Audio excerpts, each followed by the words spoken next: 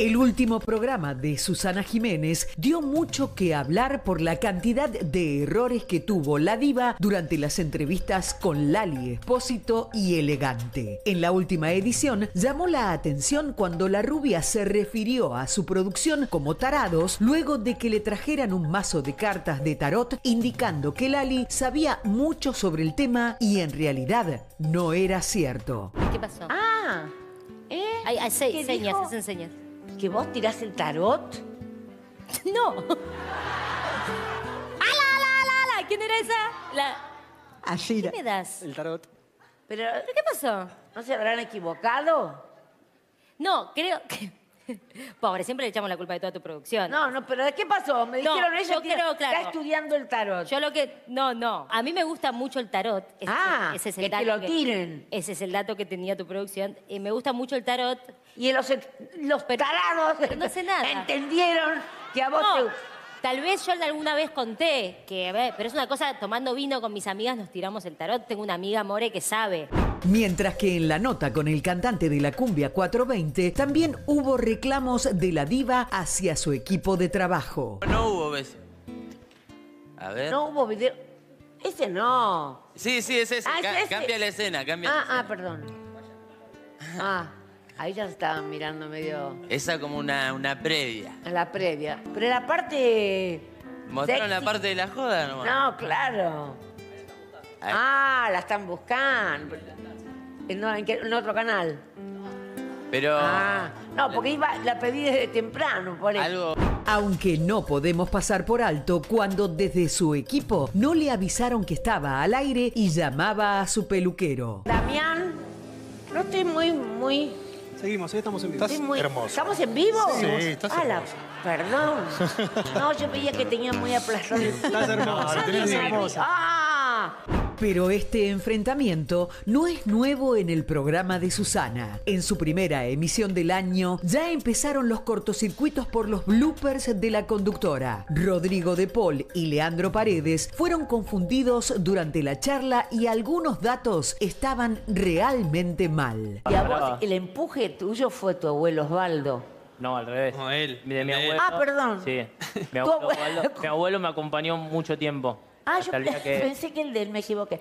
Oye, me, y, y- y vos, tu mamá, Mónica. No, Mónica es la de él. Dale, sudo, dale. eh, pero- Me parece que te pasaron mal Espera un momento. ¿Qué- Pero qué productor No puede fue? ser que el primer día yo me, me equivoque. No, no puede ser. Me van a No, no, matar. Miriam, Miriam. ¿Te imaginas? Leandro, vos estás casado esperando un bebé. No, yo sí, no lo había contado todavía, pero... Ay, perdón. Y a mí me lo dijeron, o sea que sabe.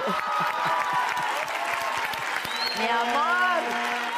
Pero no sería el único momento de errores y metidas de pata de la noche, ya que después Susana tuvo como invitada a María Becerra y también fue víctima de las confusiones. Primero Sí. que viste, cantaste con, con Coldplay, era, ¿no? No. No. No, no. Mirá. Yo estaba afuera. ¡Esperen, es mucha info! No, pará. Pero acuérdense que yo vivía en el campo. En el segundo programa también hubo un momento de confusión entre Susana y su producción cuando despedía a Úrsula Corberó. La que despedimos con un aplauso enorme. Muchas gracias. Úrsula Corberó. Te amo. ¿Para te dónde me voy? Acompañarla a ella. Yo me voy sola al escritorio. A ver. Acompañarla a Úrsula, acompañarla a Úrsula, por favor. Sí, sí, sí. ¿Dónde voy yo? Para allá. ¿Yo me quedo? Ah. ¿Y ¿Quién la acompaña? ¿Quién la acompaña? Pero si yo te digo que la acompañe. El juego telefónico también provocó rispideces entre la conductora y su equipo. Llamamos a Santa Fe. Bien. Sí.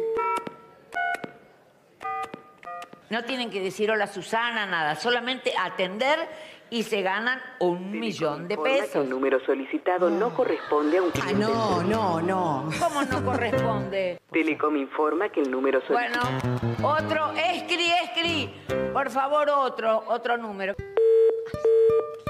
¡Ese está hablando! No, no, no. Corrientes, estoy llamando. El que atiende se lleva un millón. Tarda mucho en enganchar. No. No sé.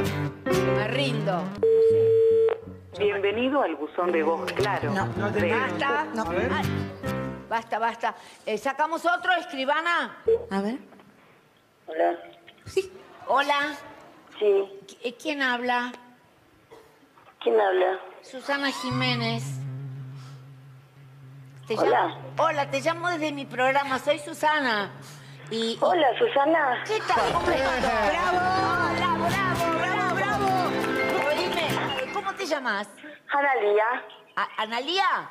Sí. Te tengo que decir que te ganaste dos millones de pesos. Bueno, Sí. yo de- le paso después con la escribana. La escriba... Vamos a jugar. A jugar, Hay a que jugar. Ay, sí, tenés razón. Susana y una guerra declarada contra su producción.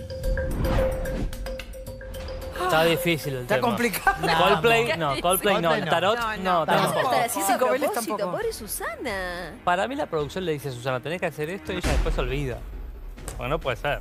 No, bueno, Pero si lo tenía No, pero el Está momento, el momento del tarot, ahí Le había- habrán dicho, a Lali le gusta el tarot. No, Lali tira el tarot. pero ¿para qué le llevan las ¿Para qué le cartas? llevan las cartas? que buscó las cartas.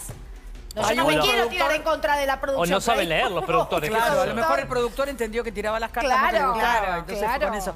Digo, Pero, pero, no bueno. es tan difícil saber la vida de No. Lali. Teléfonos es mega descompuestos. famosa. No. Es bastante sabido. Yo no sabía que tiraba el tarot. Y lo No, de que no la tiraba. Coldplay y Tini creo que salió bastante, por más que esté en el campo Igual me Susana, parece que ¿no? Susana es muy relajada, como Sí. que no se conecta Que ni hay con demasiado, la tele, demasiado. ni con nada. Sí. Bueno, eso es lo lindo que tiene Susana, que está como en una nube. Es maravilloso. Que no le avisen que esté al aire, bueno, puede pasar, está Sí, tomando eso el va. pelo. Eso pero después pasa. hay errores muy gruesos, otras son pavadas, ¿no? Pero lo que le estaba con- diciendo del pelo porque lo tenía Pero como elevado. divertido. Igual los, los invitados le reman, ¿viste? Buena onda. Lo de con el- con el bebé no fue queda tremendo. agresiva, no te No. ningunea, realmente Claro. no tiene idea si estuviste con Claro, Coldplay. No te es da que te está pena. ninguneando. No, Claro. Susana Jiménez está tan en una nube de pedo que es gracioso. Claro, Claro, eso es lo que Porque digo. es todo, es como un, co- es como La un más, gran la sketch. más igual, la más Bueno, igual. No por sé lo están todos pronto, dispuestos por lo pronto, Sí. Susana está preparando su despedida de la tele. ¿Se va? Despedida. ¿Para ¿Forever? siempre? Ah, era lo que iba a hacer. ¿Ese programa que Despedida. ¿Es eso? El... Sí, ¡Ay, qué Ah. fuerte! sí, fuerte. Se cansó. Fuerte, pero bueno, son muchos años de hacer el programa. Lo dicen cada nota que puede, 35 años, Sí, no bueno. sé qué.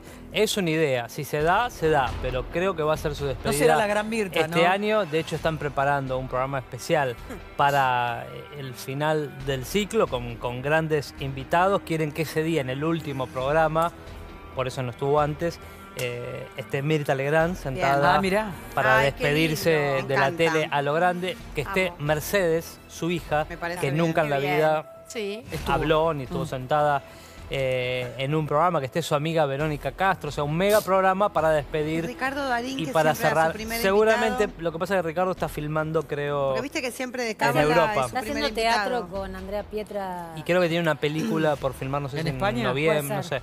Eh, estoy perdido porque lo llamamos a Ricardo para Bondi y nos dijeron eso, que estaba filmando en- hasta fin de año en, en España. España. Pero bueno, lo cierto es que quieren hacer la despedida de Susana y también hay otra pequeña interna en Telefe que es el inicio de Gran Hermano. Claro. Santiago, ¿se acuerdan que eh, anunció que iba a empezar el 8 de diciembre? El 8 de Sí. diciembre es domingo, es el día de Susana y sería ese el día del último programa De de Susana. Susana. El 8 se despide de la tele y lo que querían hacer en Telefe era compartir Sí. el debut de Gran Hermano Claro, con la sí. despedida de Susana para tener un mega domingo. Sí. A mí me... A Susana no le gustó la idea. Que empiece el lunes, Gran No le gustó. que no rompa Dijo, domingo me despido yo, después Claro, hagan lo que quieran, Obvio, no me por interrumpan supuesto. con Gran Hermano, porque si no, el inicio de Gran Hermano se va a comer el final de Susana, por lo menos para la prensa, para la Totalmente. recuperación. Obvio, Entonces Susana planteó, o su gente, por decirlo de alguna manera, eh, yo termino y que después... Me parece Ay, lógico ay, me también. parece Eso- lógico, sí, Lógico. tiene razón. Así que Gran Hermano empezaría el lunes 9 Sí, de a mí, me, diciembre. a mí me dijeron eso, sí que tiene sentido lo que contás. Debe Pero ser este así. es el motivo.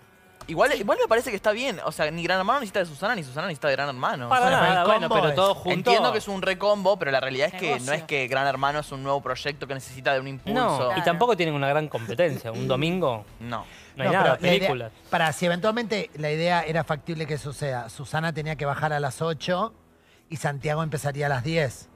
Sí, Ponele Gran si el Hermano combo no va a arrancar sucede. a las 12. No, y el debut de Gran Hermano son siempre como tres horas, porque entran Sí, todos los larguísimo. participantes, largos, Sí, es un programa sí. largo. Que empiece el lunes. En general. Obvio. Sí, sí. Sí, a las 10 si puede. Eh, pero que empiece el lunes. Bueno, pero hasta ahora es esto lo que va a pasar. El 8 termina Susana, el 9 arranca GH.